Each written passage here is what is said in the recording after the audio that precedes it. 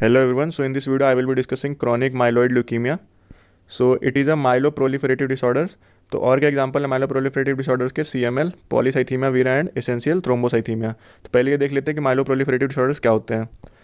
तो ये हमारा हिमाटोपोसिस है पूरा प्रोसेस तो क्या होता है, इसमें एक हिमाटोपोइटिक स्टेम सेल होगी। सो जो क्या होती है C D thirty four positive stem cell उससे क्या बनती है? माइलॉइड स्टेम सेल और lymphoid stem cell myeloid stem cell से क्या बनती है? Cells of myeloid lineage myeloid lineage की सेल्स कौन कौन सी होती हैं? आर बी सी ग्रेनुलोसाइट्स उसमें क्या? न्यूट्रोफिल बेसोफिल योसिनोफिल मोनोसाइट्स और मेगाकेरोसाइट्स या प्लेटलेट्स और लिम्फॉइड स्टेम सेल से क्या बनती हैं? हमारी सेल्स ऑफ़ लिम्फॉइड लीनियज क्या? बी सेल्स बी लिम्फोसाइट्स और टी लिम्फोसाइट्स तो हमारा मा, ये माइलोप्रोलिफरेटिव डिसऑर्डर्स क्या होते हैं? एक बार पूरा ओवरव्यू देख लेते हैं सारे कैंसर्स का। तो अगर मान लो कि ये इमेच्योर सेल्स जो प्रिकर्सर्स हैं माइलोइड लीनेज के प्रिकर्सर्स जो ये ब्लास्ट सेल्स हैं अगर इनका एबनॉर्मल प्रोलिफरेशन हो गया तो उससे क्या हो जाएगा हमारा? A M L acute myeloid leukaemia अगर हमारी प्रिकर्सर्स ऑफ़ लिम्फॉइड लीनियज है ना अगर इनका एबनॉर्मल प्रोलिफरेशन हो गया तो क्या हो जाएगा? Acute lymphoid acute lymphoblastic leukaemia ये हो गया। अगर हमारे जो लिम्फॉइड लीनेज की मैच्योर सेल्स का, है ना? जो बी और टी लिम्फोसाइट से अगर इनका एबनॉर्मल प्रोलिफरेशन हो गया तो क्या हो जाएगा? क्रॉनिक ल्यूकीमिया क्रॉनिक ल्यूकीमिया के क्या क्या एग्ज़ाम्पल होते हैं? Chronic lymphocytic leukaemia hairy cell leukaemia adult cell leukaemia etcetera ठीक है? ये हो गया।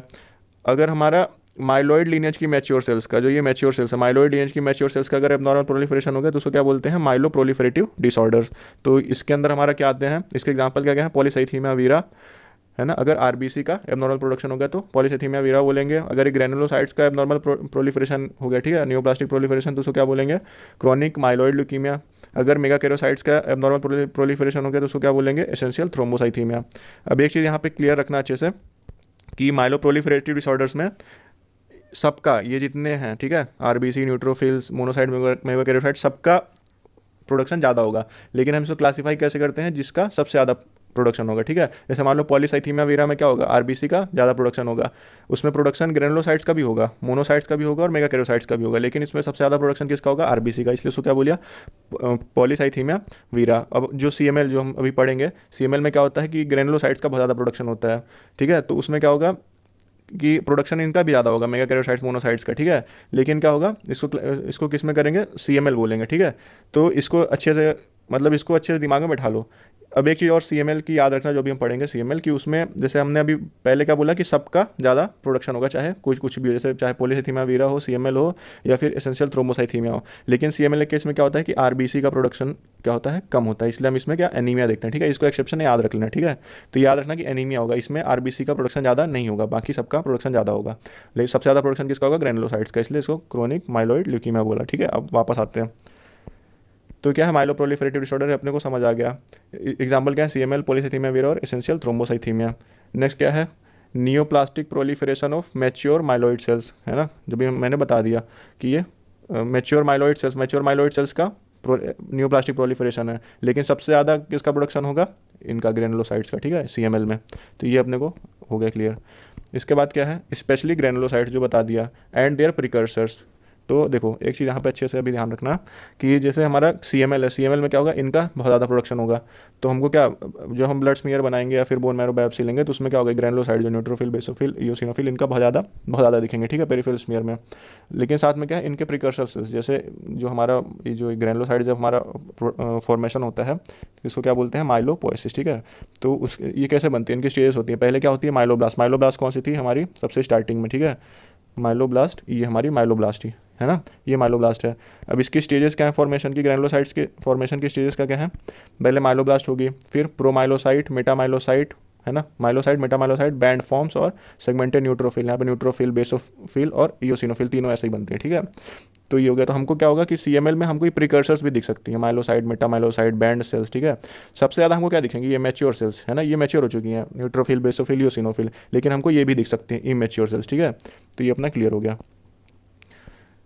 तो neoplastic proliferation of mature myeloids है specially granulocytes and their precursors basophils are characteristically increase है ना? क्योंकि और किसी में बेसोफिलिया नहीं होता, और किसी ल्यूकेमिया में। क्या इसमें ग्रेनुलोसाइड्स का ज़्यादा प्रोलीफ्रेशन होगा तो क्या होगा? न्यूट्रोफिलिया होगा बेसोफिलिया होगा और यूसिनोफिलिया होगा। इतना क्लियर हो गया। फिर आगे क्या है? Peak incidences forty five to eighty five years है ना? डिज़ीज़ ऑफ़ अडल्ट है मतलब अडल्ट में होता है। मीडियन एज क्या है इसकी? सिक्सटी फोर ईयर्स ये चिल्ड्रंस और एडोलसेंट में भी हो सकता है, लेकिन मोस्ट कॉमन क्या है? Forty five to eighty five years के बीच में होता है। डिफाइंड बाई फिलाडेल्फिया क्रोमोसोम है ना? बहुत इंपॉर्टेंट है। फिलाडेल्फिया क्रोमोसोम अपने को पता होता है, उसमें क्या होता है? ट्रांसलोकेशन नाइन ट्वेंटी टू और B C R A B L gene का फ्यूजन हो जाता है। अब देखो इसको समझ लो, कैसे होता है। जैसे हमारे क्रोमोसोम नाइन है, ठीक है? इसमें क्या होता है? ए बी एल जीन है। और हमारा एक क्रोमोसोम क्या है? ट्वेंटी टू इसमें क्या है? बी सी आर जीन है ठीक है? तो हमारा ए बी एल ये ट्रांसलोकेशन हो गया है ना? तो हमारा क्या हो जाएगा? जब हमारा ट्रांसलोकेशन हुआ तो ए बी एल और बी सी आर क्या है? एक साथ आ गया इनका फ्यूज़न हो गया। अब इसको क्या बोल दिया? फिलाडेल्फिया क्रोमोसोम इनके फ्यूजन से क्या होगा कि एक प्रो, प्रोटीन होता है उसका क्या नाम होता है? टेरोसिन काइनेज है ना? तो वो बहुत ज़्यादा प्रोड्यूस होता है सेल्स में ठीक है? तो उससे क्या होगा? टेरोसिन काइनेज का काम क्या होता है कि वो अगर प्रोड्यूस होगा ज़्यादा तो उससे क्या होगा सेल्स हमारी बहुत ज़्यादा प्रोलीफरेट करेंगे, ठीक है? अब एक चीज़ ये समझना कि क्रोनिक माइलोड लुकिया में ट्रांसलोकेशन होता कहाँ पर ठीक है? ये चीज़ ध्यान रखना बहुत इंपॉर्टेंट है। तो हमारा जो ट्रांसलोकेशन होता है, हमारा यहाँ पे होता है हिमाटोपोइटिक स्टेम सेल्स में। हिमाटोपोइटिक स्टेम सेल्स में ट्रांसलोकेशन हो गया, ठीक है? तो हमारा क्या टेरोसिन काइनेज इनमें बहुत ज़्यादा प्रोड्यूस होने लगा। टेरोसिन काइनेज बहुत ज़्यादा प्रोड्यूस होने लगा तो हमारा उससे क्या बने लगी? माइलोइड स्टेम सेल जो हमारी बहुत ज़्यादा प्रोड्यूस होने लगी, बहुत ज़्यादा बनने लगी, ठीक है? इसमें ज़्यादा डिफ्रेंशिएशन होने लगा, इसका हिमाटोपोइटिक स्टेम सेल से क्या हो गया? माइलोइड स्टेम सेल का बहुत ज़्यादा प्रोडक्शन हुआ। और माइलोइड स्टेम सेल का ज़्यादा प्रोडक्शन हुआ तो उससे क्या बन गया हमारी? माइलोब्लास्ट का ज़्यादा प्रोडक्शन हुआ माइलोब्लास्ट का ज़्यादा प्रोडक्शन हुआ तो हमारी ग्रैनुलोसाइट्स का ज़्यादा प्रोडक्शन हो गया, ठीक है? तो इससे हमारा क्या हो जाएगा? सीएमएल हो जाएगा। अब सीएमएल में एक चीज़ तो मैंने तुमको बता दी कि सबका ये माइलोड प्रोलिफरेटिव डिसऑर्डर था तक, उसमें बताया था कि सबका ज़्यादा प्रोलिफरेशन होता है ना? और सी में बताया था ग्रैनुलोसाइट्स का ज़्यादा होता है। तो सी में क्या होता है कि ग्रेनलोसाइड्स का ज़्यादा होता है और बताया था कि आरबीसी का कम होता है, ये एक्सेप्शन है, याद रखना, ठीक है?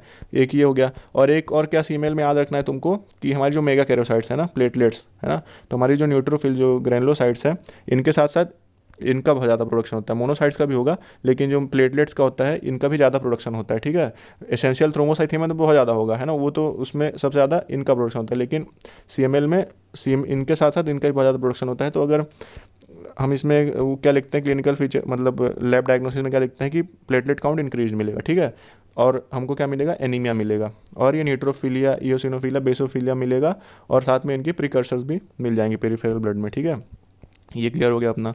फिर उसके बाद ये हो गया हमारा A B L B C R fusion हुआ तो उससे टायरोसिन काइनेस बहुत ज़्यादा इंक्रीज हो गया, उससे बहुत ज़्यादा प्रोलीफरेशन होने लगा। फिर तो ये किसका है? माइलोइड स्टेम सेल का प्रोलीफरेशन है, ये तो अपने को पता होगा ठीक है? इससे क्या हो जाएगा? ग्रैनुलोसाइड ज़्यादा बनेंगे। Which generates A B L B C R fusion protein with increase tyrosine kinase activity ये एक्सप्लेन कर दिया। अब क्या है?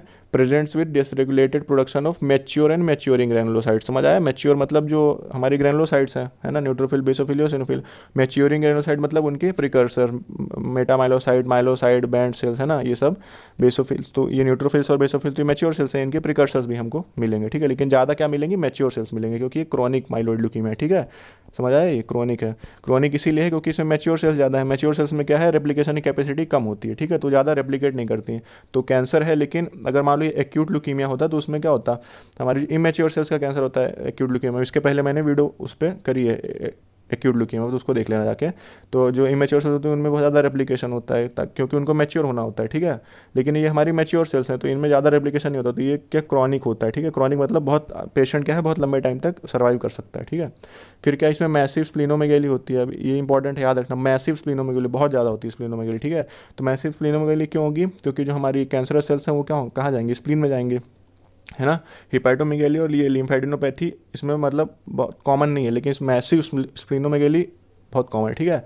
तो इसमें क्या होगा? ये सेकेंडरी हेमाटोपोइटिक ऑर्गन है क्या स्प्लीन ठीक है तो यहाँ पे क्या जाएँगी? हमारी कैंसर सेल्स जाएँगी और वहाँ पे क्या? ये वहाँ पे भी रेप्लिकेट करेंगी तो वहाँ पे स्प्लीन क्या हो जाएगा? इनलार्ज हो जाएगी। माइल्ड एनीमिया बताया था तुमको सी में आरबीसी का प्रोडक्शन कम होता है और प्लेटलेट काउंट ज़्यादा हो इंक्रीज प्लेटलेट काउंट क्यों ज़्यादा होगा, क्योंकि जो मेगा कैरोसाइड्स है, उनका प्रोडक्शन ज़्यादा होगा। समझ आया इतना? अब अगला क्या है? May accelerate and transform into AML और एएलएल इसको क्या बोलेंगे? ब्लास्ट क्राइसिस एएमएल क्या है? एक्यूट माइलोइड ल्यूकीमिया एएलएल क्या है? एक्यूट लिम्फोब्लास्टिक ल्यूकीमिया अगर ये एक्यूट ल्यूकीमिया एक्यूट ल्यूकीमिया में क्या होता है? बहुत एग्रेसिव होते हैं, बहुत जल्दी पेशेंट मतलब उसकी डेथ हो जाती है। तो एक्यूट ल्यूकीमिया में ट्रांसफॉर्म कर सकते हैं। इसको क्या बोलते हैं? ब्लास्ट क्राइसिस अब देखो एक्यूट ल्यूकीमिया में कैसे ट्रांसफॉर्म होंगे? यहाँ पे तुमको बताया था ना? यहाँ पे क्या बताया था? कि हमारा म्यूटेशन कहाँ था? हेमाटोपोइटिक स्टेम सेल में था। उससे क्या हो रहा था कि माइलॉइड स्टेम सेल ज़्यादा प्रोड्यूस हो रही थी, उससे ग्रैनुलोसाइड ज़्यादा प्रोडक्शन हो रहा था। अब हमारा अगर हेमाटोपोइटिक स्टेम सेल में है तो अगर जैसे कैंसर जैसे किसी को सीएमएल है है ना? और वो, उसका जैसे टाइम बीतता गया चार साल, पाँच साल छः साल तो क्या है इसमें और ज़्यादा म्यूटेशन होंगे, है ना? म्यूटेशन बहुत ज़्यादा बढ़ते आएँगे तो इससे क्या होगा? जैसे अभी तो माइलोइड स्टेम सेल ज़्यादा प्रोड्यूस हो रही थी तो अब उसके बाद क्या हो सकता है कि लिम्फोइड स्टेम सेल ज़्यादा प्रोड्यूस होने लगे। तो अगर हमारा ये दोनों सेल ज़्यादा प्रोड्यूस होंगे तो इनसे क्या होगा? ये प्रिकर्सर भी हमारे ज़्यादा प्रोड्यूस होंगे, ठीक है? और इधर ये लिम्फोब्लास्ट और बी लिम्फोब्लास्ट टी लिम्फोब्लास्ट ज़्यादा प्रोड्यूस होंगी। अभी क्या हो रहा था? अब क्या होगा कि अगर ये ज़्यादा प्रोड्यूस होंगे तो इनका क्या हो जाएगा? एक्यूमुलेशन हो जाएगा। तो इनका एक्यूमुलेशन प्रिकर्सर का होगा, इसको क्या बोलेंगे? ए एम एल और इनका अगर ये जो लिम्फॉइड प्रिकर्सर है, अगर इनका ज़्यादा प्रोडक्शन होने लगा तो उसको क्या बोलेंगे? ए एल एल तो वही है, इसमें ट्रांसफॉर्म हो सकती हैं एक्यूट और मतलब एक्यूट लिम्फॉइड और एक्यूट लिम्फोब्लास्टिक में, ठीक है? माइलॉइड और लिम्फोब्लास्टिक में। तो इसको क्या बोलते हैं? ब्लास्ट क्राइसिस बोलते हैं। इसमें क्या है? पेशेंट फिर बहुत एग्रेसिव मतलब बहुत एग्रेसिवली कैंसर वो करता है और पेशेंट की डेथ जल्दी हो जाती है। अब इसका ट्रीटमेंट क्या है? Respond to B C B C L A B L tyrosine kinase inhibitors imatinib वही हमारा। A B L B C R के फ्यूजन से क्या हो रहा था? कि हमारा टेरोसिन कैनस की एक्टिविटी बढ़ रही थी, इससे क्या सेल बहुत ज़्यादा रिप्लीकेट कर रही थी। तो हमारा इमाटीनिप जो ड्रग होती है, वो क्या करती है टेरोसिन काइनेज इनिबिटर है तो उससे क्या होगा सेल रिप्लीकेट नहीं करेंगे। तो ये ट्रीटमेंट में बहुत यूज़फुल है इमाटीनिप ठीक है? इसके बाद हमारा क्या है, ये पेरीफेरल स्मीयर में देखो, बहुत ज़्यादा ग्रेनुलोसाइट्स ये देखो, है ना? ग्रेनुलोसाइट्स दिख रहे हैं। उनके प्रिकर्सर्स भी दिख रहे हैं, ठीक है ना? माइलोसाइट मेटामाइलोसाइट्स ये, है ना? और इधर देख लो, इधर ईओसिनोफिल है ना? ये बेसोफिल तो बाकी ये ग्रेनुलोसाइट्स हमारी न्यूट्रोफिल्स बहुत सारी दिख रही हैं। मेटामाइलोसाइट्स माइलोसाइट ठीक है? इतना समझ आया? अब आगे देखते हैं। फिर सी को हमको लिकोमोइड रिएक्शन से डिस्टिंग्विश करना होता है। लिकोमॉइड रिएक्शन क्या होता है? इन्फेक्शन की वजह से डब्ल्यूबीसी काउंट बढ़ जाना। और सी में क्या है कि न्यू प्लास्टिक प्रोलिफरेशन होता है। तो हमारा इसको डिस्टिंग्विश कैसे करेंगे? कि हमारा सी में क्या होता है? New negative leucocyte alkaline phosphatase हमारा ये लैब निगेटिव होता है। क्यों? क्योंकि न्यू प्लास्टिक सेल्स है। हमारा लैब क्या होता है? एंजाइम होता है। ठीक है? कहाँ? ग्रेनुलोसाइड्स में मिलता है। तो हमारी जो न्यू प्लास्टिक सेल्स हैं, वो अब नॉर्मल सेल्स उनमें लैब नहीं रहता। तो लैब निगेटिव होती हैं। और जो हमारा ल्यूकोमोइड रिएक्शन होता है इन्फेक्शन की वजह से उसमें ग्रेनुलोसाइड्स बहुत ज़्यादा प्रोडक्शन होता है तो उसमें क्या नॉर्मल ग्रेनुलोसाइट्स जैसे न्यूट्रोफिल, बेसोफिल यूसिनोफिल तो वो क्या है, इन्फेक्शन से फाइट करने के लिए। तो उनमें क्या होगा कि लैब जो है पॉजिटिव होती हैं। फिर हमारा इंक्रीज बेसोफिल, हमारा जो न्यूट्रोफिल है अगर ल्यूकोमोइड रिएक्शन की वजह से इन्फेक्शन से फाइट करने के, उसमें बेसोफिल बहुत ज़्यादा नहीं बढ़ती, उसमें न्यूट्रोफिल बहुत ज़्यादा बढ़ती हैं, ठीक है? और हमारा सीएमएल में क्या है, ये सारी बढ़ जाएँगी, बेसोफिल बहुत ज़्यादा बढ़ जाएँगी। और हमारा फिर सीएमएल में क्या होता है ट्रांसलोकेशन नाइन है ना? जो कि ल्यूकोमोइड रिएक्शन में नहीं होगा, ठीक है? नेक्स्ट क्या है, हमारा क्या है क्लिनिकल फीचर्स क्लिनिकल फीचर्स अभी मैं नेक्स्ट वीडियो बनाऊँगा, उसमें सी एम पे क्लिनिकल क्वेश्चन डिस्कस करूँगा तो वहाँ पर एक्सप्लेन कर दूँगा। तो अगर वीडियो पसंद आई हो तो लाइक करना और सब्सक्राइब करना और शेयर करना। मिलते हैं फिर नेक्स्ट वीडियो में। इसके बाद मैं क्लिनिकल क्वेश्चन नेक्स्ट पैटर्न जो क्लिनिकल क्वेश्चन आएँगे, उस पर वीडियो बनाऊँगा। है ना, इस टॉपिक की। तो अगर उसमें इंटरेस्टेड हो नेक्स्ट की तैयारी करो तो वो देख लेना। ठीक है? मिलते हैं फिर नेक्स्ट वीडियो में।